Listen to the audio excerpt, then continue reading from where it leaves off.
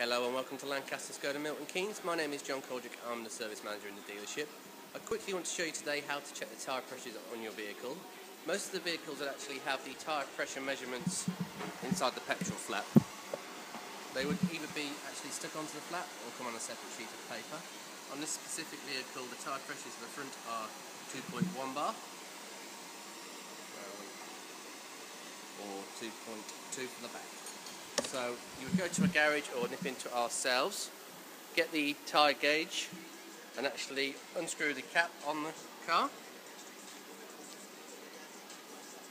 and attach the tyre pressure gauge so it goes to 2.1 or 2.2 bar on the vehicle, depending on which side it is. At that point then you would screw back on the tyre gauge and your tyre pressure would be set. Um, I've also done another video which shows you how to reset your tyre pressures. You can refer to this there to reset the tyres. Thank you. Bye bye.